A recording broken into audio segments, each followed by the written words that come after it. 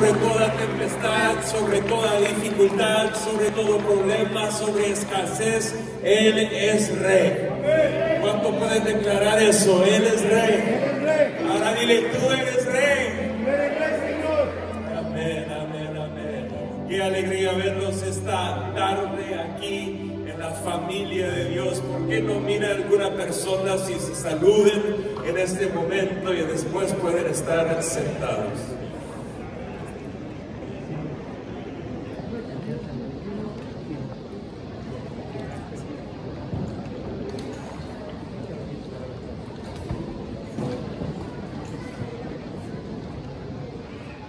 ¿Cuántos alegres y felices? Muy bien. Me he dado cuenta que cada domingo hay más y más personas llegando. Gloria a Dios. Dios está haciendo buenas cosas. Está con nosotros. ¿Cuántos no tienen la hoja que dice vida arriba? Si no tienes, levanta tu mano y vamos a darte esta hoja si no la tienes. Queremos estar seguros de que todos la tengan. Amén, amén. Parece que andamos muy bien en este servicio, que casi todos tienen la hoja. Ah, pero levanta esa mano en alto si no la tienes. Creo que teníamos una mano más por este lado, al favor de estar mirando bien. Sí, sí, gracias. Muy bien, ahí vamos, ahí vamos. Muy bien, ok. Quiero que todos digan conmigo la palabra vida. Vida, Dilo otra vez. vida. Vida. Nuestro Dios es un Dios de vida. Amén. Quiero contar una historia para comenzar esto. Mi mensaje no va a ser muy largo y, y después mi papá va a venir y, y hablar de ciertas cosas muy importantes ah, para nosotros.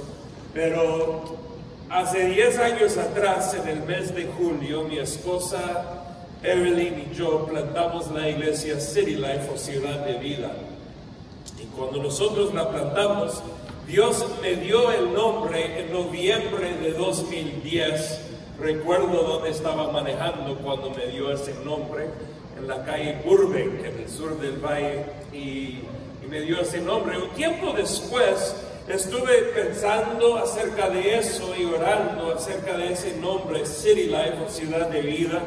Y, bueno, un poco antes de plantar la iglesia, en el mes de junio ah, de 2011, era el Día del Padre, yo le dije a mi papá en ese entonces que yo quería dar el mensaje y él lo aprobó. En otras palabras, es una de las pocas veces que el hijo ha mandado al papá. Y él me obedeció. Ah, pero yo di el mensaje ese domingo, el Día del Padre, lo que era mi último domingo con él y con la congregación antes de plantar la iglesia Ciudad de Vida. Y bueno, ah, yo recuerdo en ese día hablar de una genética espiritual porque me había dado cuenta que este nombre que Dios nos dio era más algo simbólico de una genética que yo había visto y experimentado y en la cual había participado y recuerdo, recordé en ese entonces y recuerdo hoy que teníamos boletines en ese entonces con una palabra arriba del boletín. ¿Y qué palabra era? ¿Alguien sabe? Vida. vida.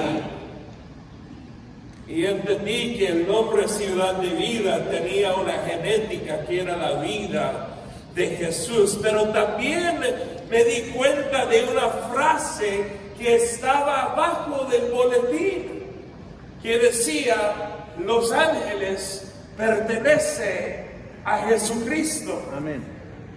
Y esa frase regularmente repetíamos en la iglesia diciendo, los ángeles pertenecen a Jesucristo.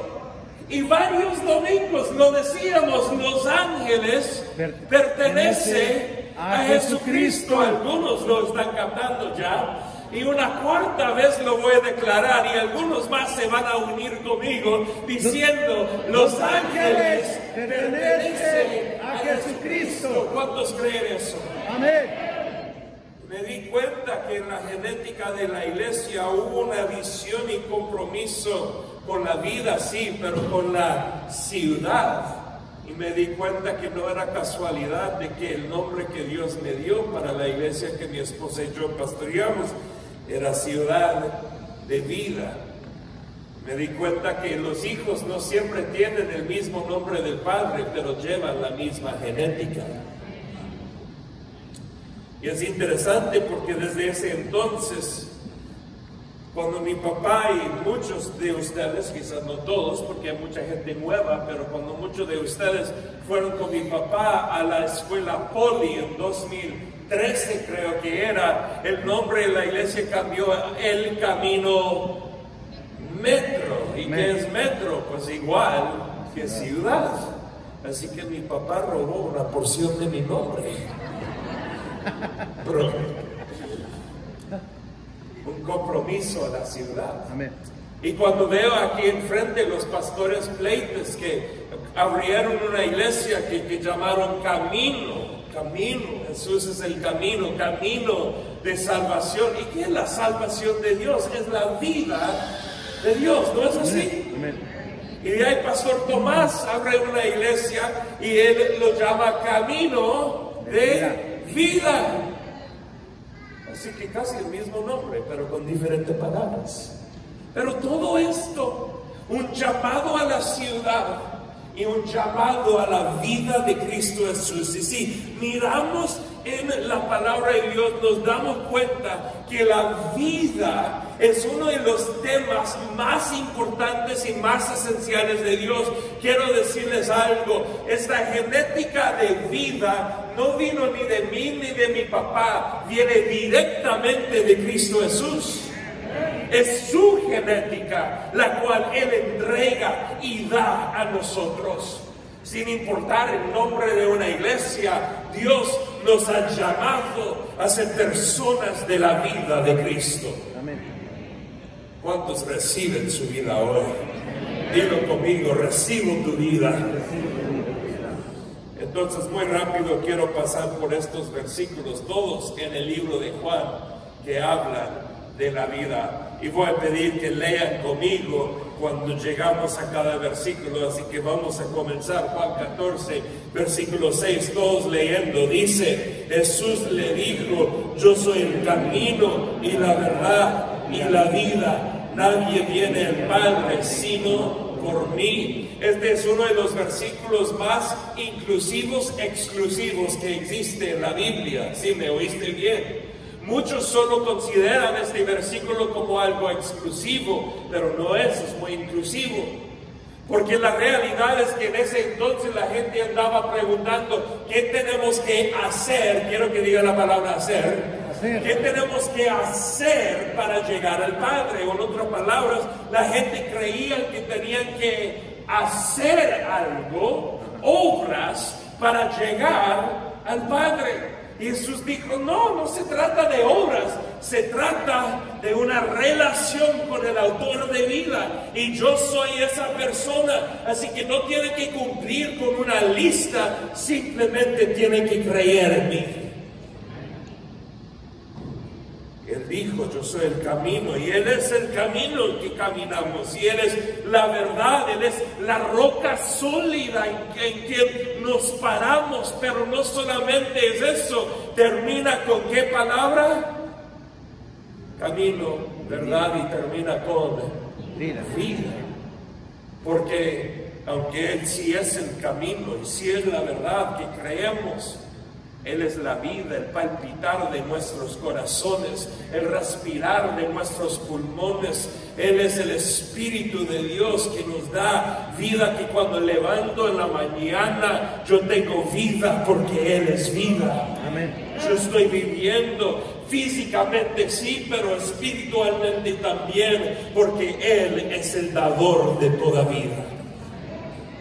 Y tú tienes su vida, yo tengo su vida. Leemos juntos Juan 3, 16. Dice, porque de tal manera amó Dios al mundo que ha dado a su Hijo unigénito para que todo aquel que en él cree no se pierda, mas tenga vida eterna.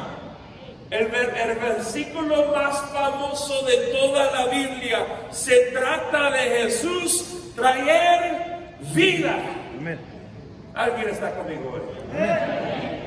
Eso es, la vida eterna. Por esa razón el Padre mandó a Jesús a este mundo. Juan capítulo 1, versículos 3 a 4, leemos juntos.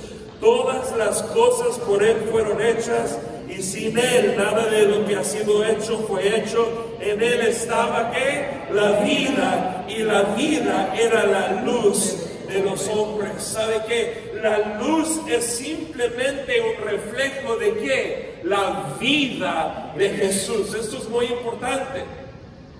Somos la luz del mundo, pero somos la luz del mundo porque tenemos y estamos llenos de qué? La vida de Jesús. Yo creo que debamos ser creyentes caminando en la verdad. ¿Cuántos creen eso conmigo? Pero ¿sabe qué? Este mundo no va a reconocer la verdad primero, van a reconocer qué primero? La vida que Jesús te ha dado. Amén. Yo puedo ir a predicar en cualquier lugar.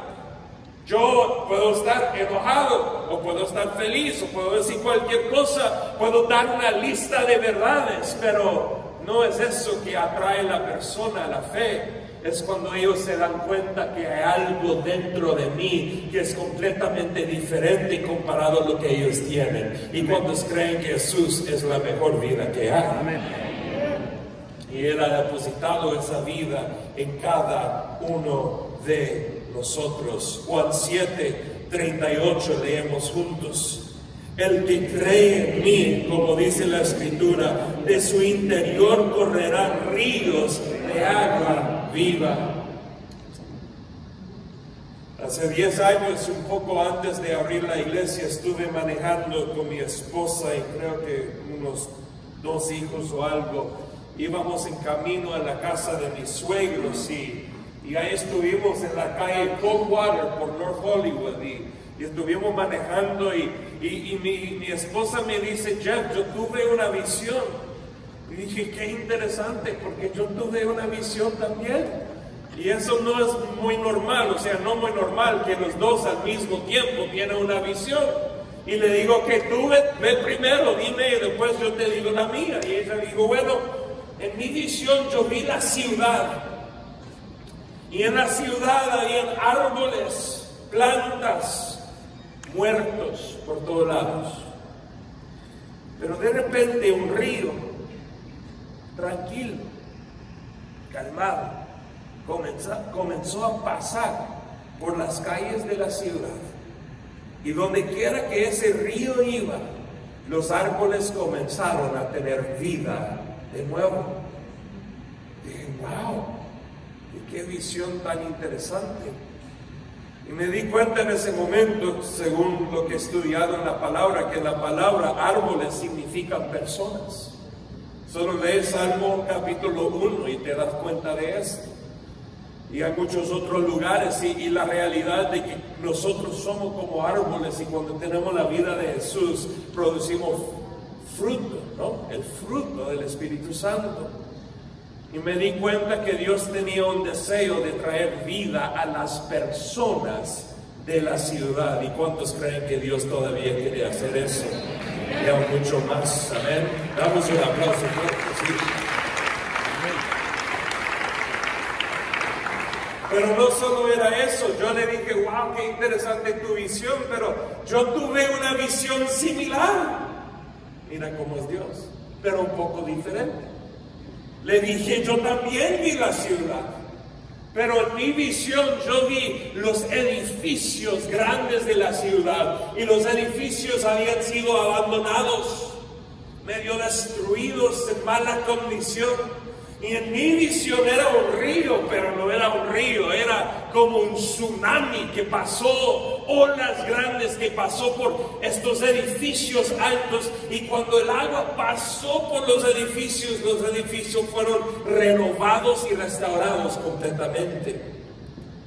Y en los días y semanas después de eso comencé a entender que Dios nos estaba mostrando algo que primero Dios nos llama a traer su vida como individuales a otros individuos, ¿no? O sea, tú, donde tú estás trayendo la vida de Cristo a tu casa, a tu vecindario, a tu trabajo, a tu escuela, donde quiera que Dios te ha puesto, Dios te ha llamado. Y eso es importante, donde quiera que Dios te ha puesto, te ha llamado para traer su vida, cuántos son candidatos para compartir esa vida. Y de eso está hablando aquí en Juan 7:38, que cuando creemos en Él, de nuestro interior correrán ríos de agua viva que van a tocar otras personas. Pero esa agua viva de Dios sí viene a través de individuos, pero también viene a través de la iglesia colectiva, el cuerpo de Cristo. Y eso era la visión que yo tuve, que entendía que Dios nos estaba llamando como individuos a compartir esa agua viva, pero también juntos a impactar la ciudad entera para la gloria del Señor. Y de eso se trata nuestro futuro, de ambas cosas trabajando como individuos, pero trabajando juntos como iglesia para impactar nuestra ciudad.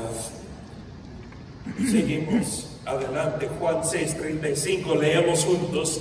Jesús les dijo, yo soy el pan de vida, el que a mí viene, nunca tendrá hambre y el que en mí cree no tendrá sed jamás cuantos creen que Él es la mejor vida que hay. Hay muchas maneras de vida de este mundo. Puede ser drogas y alcohol, algo malo. Puede ser relaciones, éxito, trabajo, cosas buenas. Pero lo que puedo decir es nada compara la vida que Jesús nos da ni tu esposa o esposo, ni tu trabajo, ni tus éxitos, ni ninguna otra cosa compara a su vida. Él es pura vida. ¿Cuántos están de acuerdo conmigo ahí? Dile a alguien, Él es pura vida.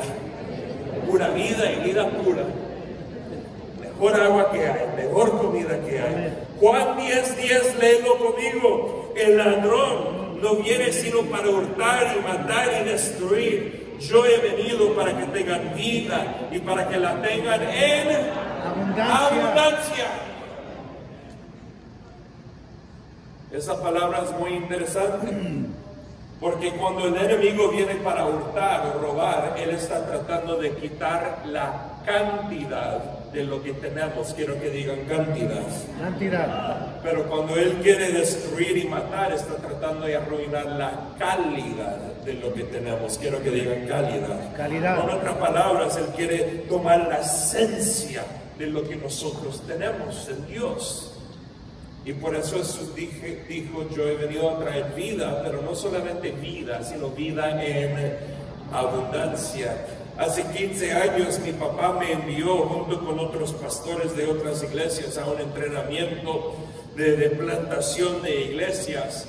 Y fuimos, era de dos semanas y la primera semana estaba en Hawái. ¡Qué bendición! Era trabajo, pero casi vacación ahí.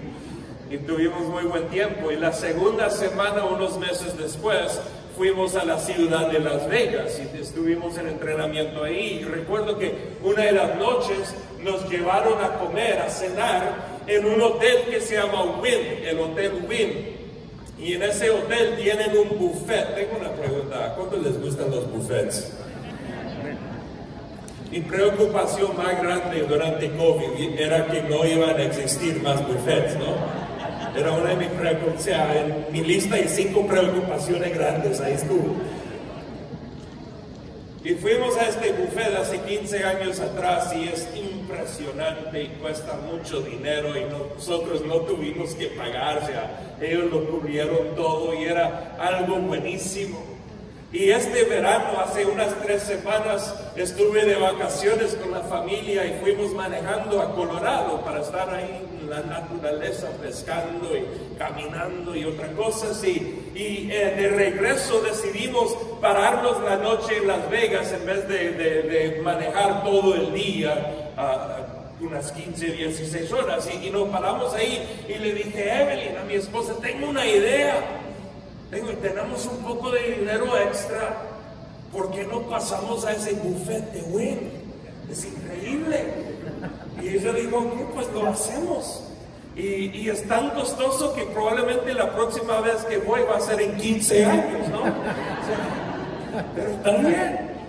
Entonces nos paramos y esa mañana y el plan era perfecto porque el desayuno es el más barato, de ahí tienen el brunch que es almuerzo y desayuno y, y es más caro y después la cena que es lo más caro y dije vamos a, el brunch comienza a las 10 de la mañana, vamos a hacerlo a las 9.45 para pagar el precio del desayuno pero comer el brunch.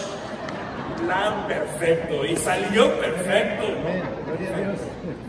Y lo que te puedo decir es que ahí tuvieron una cantidad enorme de comida, pero también tuvieron una calidad increíble.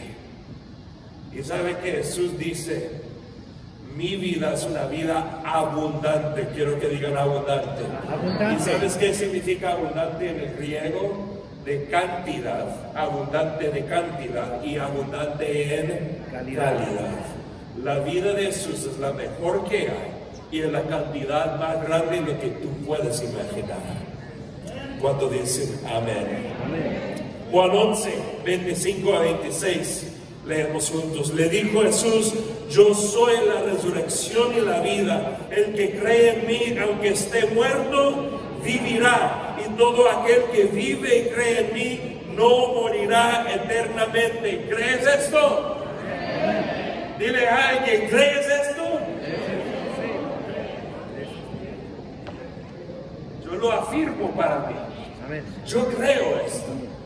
Él es la resurrección y la vida. Seguimos, Juan 5, 24, leemos. De cierto, de cierto os digo, el que oye mi palabra y cree al que me envió, tiene que vida eterna y no vendrá a condenación, mas ha pasado de muerte La vida. Amén. El problema más grande con el mundo no es el pecado. El problema más grande del mundo es la muerte. Y Jesús es la respuesta a la muerte. Amén. Porque Él es vida. Amén.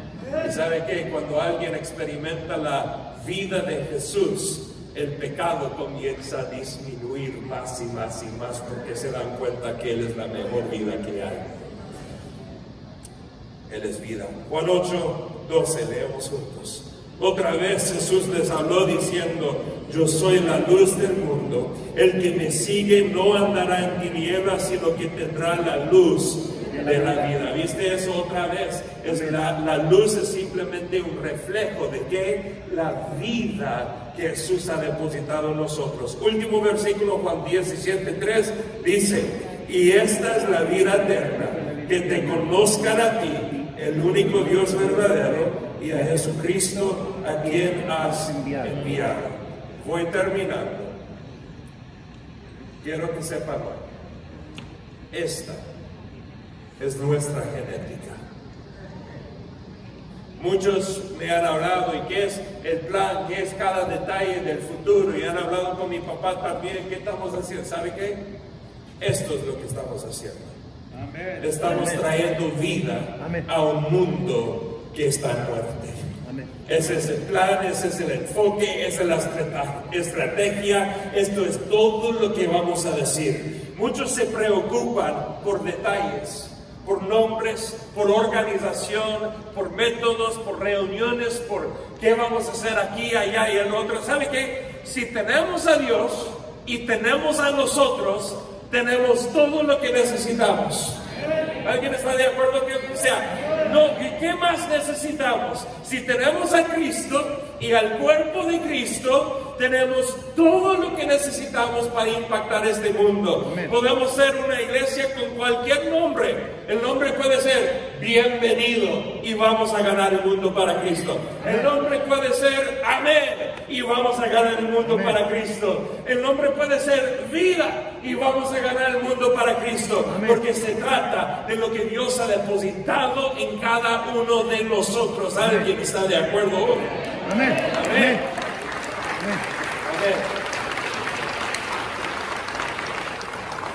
Entonces les quiero animar, y esto mi papá y yo hemos estado hablando. de que esta es la genética, este es el llamado de traer vida a la ciudad de Los Ángeles. Amén. Y eso es lo que estamos buscando hacer. Es lo más importante, es lo más esencial. Oramos juntos. Voy a pedir que se pongan de pie conmigo para orar esta vez. Vamos a orar. Señor, te damos gracias por quién eres tú, por todo lo que haces, por tu presencia y tu amor. Y Señor, hoy afirmamos otra vez que tú eres lo mejor para nosotros y tu vida es la mejor vida que hay. Y hoy, Señor Jesús, pedimos que tú derrames más y más de tu vida sobre nosotros y en nosotros y que a través de nosotros fluyan ríos de agua viva para impactar a nuestros amigos, a nuestros vecindarios y casas, trabajos, escuelas, equipos y a la ciudad de Los Ángeles y hasta el mundo entero. Y con dos ojos cerrados quiero hacer una pregunta sencilla. ¿Estás aquí hoy y reconoces tu necesidad de recibir la vida de Cristo Jesús? Hoy es tu día. Quizás por primera vez quieres decir, me abro a la vida de Cristo. Quiero que Él tome mi muerte y que Él deposite su vida.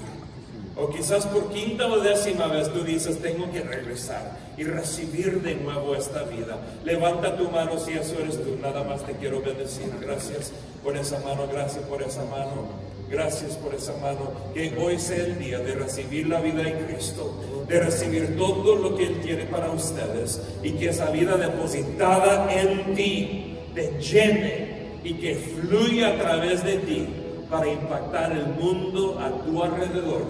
En el nombre de Jesús. Amén y amén. Un aplauso a nuestro Señor.